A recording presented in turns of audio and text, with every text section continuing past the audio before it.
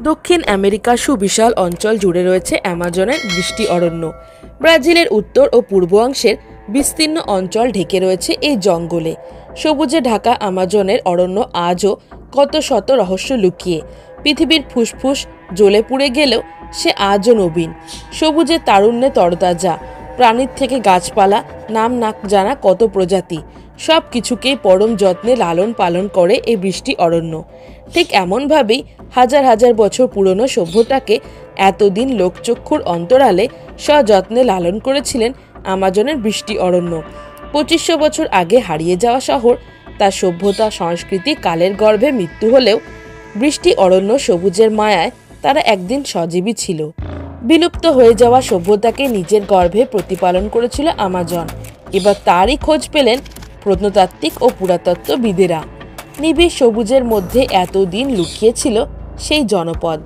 দু হাজার পনেরো সালে L I E D A আর তথা লিডার সার্ভের রিমোট সেসিংয়ের একটি বহুল ব্যবহৃত পদ্ধতির মাধ্যমে জানা গিয়েছিল, আমাজনের বৃষ্টি অরণ্য কোনো কিছুকে গোপন করছে, যেন বাইরের জগৎ থেকে আড়াল করছে।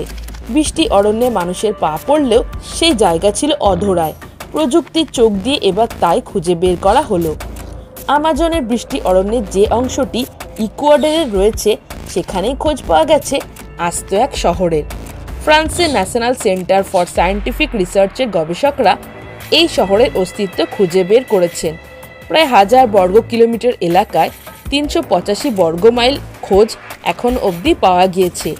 আন্দিজ পর্বতমালার পাদদেশে উপানো উপত্যকায় লুকিয়েছিল এই জনপদ। হাজার হাজার বছর ধরে সভ্য জগতের অন্তরালে। ফরাসি আর্কিওলজিস্ট স্টিফেন রস্টিন বলেছেন সেই জনপদ যথেষ্টই আধুনিক ছিল। পাঁচটা বড় শহর একসঙ্গে সংযুক্ত। এক শহর থেকে আরেক শহরে যাওয়ার জন্য রাস্তা রয়েছে। প্রতি শহরে অসংখ্য মাটির বাড়ি, ছোট ছোট কুড়ে ঘর, নির্দিষ্ট দূরত্ব মেনে তৈরি হয়েছে। অন্তত হাজার ছয়েক মাটির বাড়ি এখনও অবিকল একই রকম রয়েছে। প্রতিটা বাড়িতে রয়েছে ফায়ারপ্লেস বড় বড় সেরামিকের কুজোয় ভর্তি বিয়ার। বাড়ি শুধু নয়, ধর্মীয় অনুষ্ঠানের জন্য বহু তল তৈরি করা হয়েছিল সেই সময়। এক একটির উচ্চতা প্রায় তেত্রিশ ফুট। রাস্তাগুলো নাকি এখনকার নিউ ইয়র্ক শহরের মতো। কখনো সোজা, কখনো আঁকাবাঁকা রাস্তা সংযুক্ত করেছে শহরের প্রতিটি এলাকাকে। স্টিফেন বলেছেন, সেই জনপদে মানুষজন খুবই শৌখিন ছিল বলে অনুমান করা হচ্ছে। প্রতিটা বাড়ি বহুতলে সুন্দর করে সাজানো। বাড়ির আকার ও অন্দর সাজে শৌখিনতার ছোঁয়া পাওয়া গিয়েছে। ওই জনপদে চাষাবাদও হতো। অনেকটা জায়গা জুড়ে চাষের জমিরও খোঁজ মিলেছে। পুরাতত্ত্ববিদরা বলছে, আমাজনের গহীন অরণ্যে চাপা পড়ে যাওয়া ওই সভ্যতা কিলামোপো এবং উপানো সংস্কৃতিকে ভিত্তি করে গড়ে উঠেছিল। পরবর্তী সময় হুয়াপুলা সংস্কৃতি ওই সভ্যতার ওপর প্রভাব বিস্তার করে। বেশ কিছু টিলাও রয়েছে সেখানে। খ্রিস্টপূর্ব পাঁচশো থেকে তিনশো এবং ছশো খ্রিস্টাব্দে পর্যন্ত সেখানে মানুষের বাস ছিল বলে মনে করা হচ্ছে। যে এলাকায় সমীক্ষা চলেছে, তার আশেপাশে আরও পাঁচটি জনপদের অস্তিত্ব ছিল বলে জানাচ্ছেন বিজ্ঞানীরা। সড়ক পরিবহন ছিল উন্নত মানের।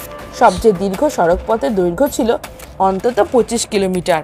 হারানো এই শহর আরও অনেক রহস্যের জন্ম দেবে বলে মনে করেছেন গবেষকেরা। হ্যালো ফ্রেন্ডস আমি জয়িতা। আপনারা দেখছেন বুক অফ নলেজ চ্যানেল আপনি কি খাদ্যরসিক বা ভ্রমণ প্রেমী তাহলে নিচে দেওয়া ডেসক্রিপশন বক্সের লিঙ্কে ক্লিক করুন।